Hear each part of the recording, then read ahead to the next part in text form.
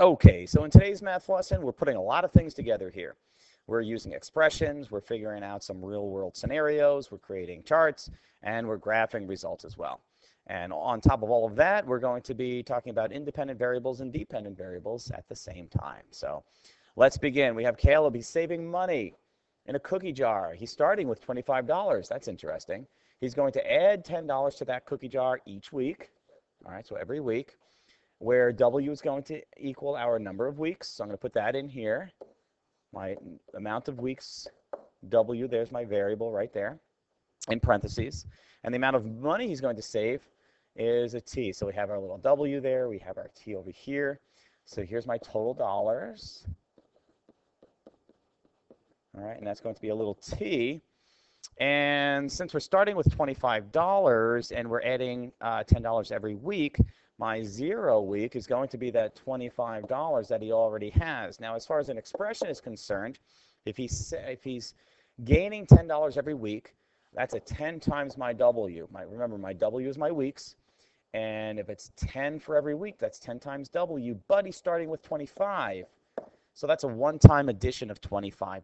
So my expression actually looks just like that. Now, uh, less than six weeks. So he's he. If I can't include six weeks, if it's less than six weeks, if it was uh, including six weeks, it would say something else. It would say, you know, six weeks and less or something like that. But it's less than six. So I'm going to go one, two, three, four, five, and that's going to be the end of it.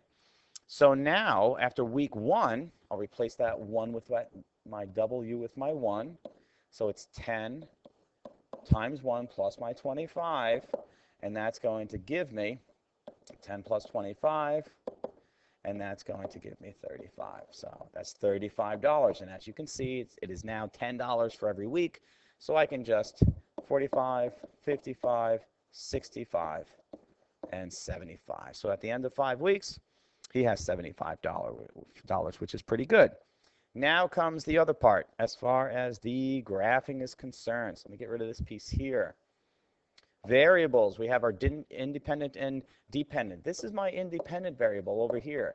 This is my dependent variable over here. And what's the difference? Well, the amount of money he has greatly depends on what week it is.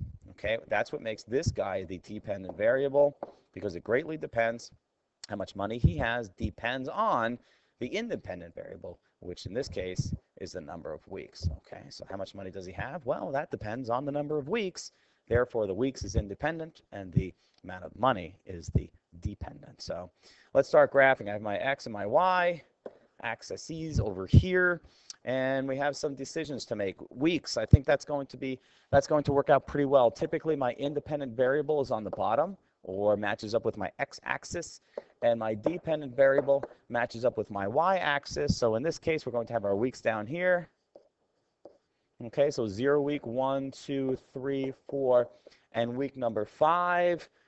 Um, and on the side here, my dependent variable, that's going to, okay, so let's talk about that y-axis. So that y-axis here, this is going to be my total dollars. Sorry, I had to pause the video there the, for a second there. So if things got a little choppy, I do apologize. So now I have a decision to make here. I have to go from 25 all the way to 75. So I need one, two, three, four, five, six values. And it seems to work out. I have one, two, three, four, five, six. So I think I can fill them all in. So we're going to start with our 25 here.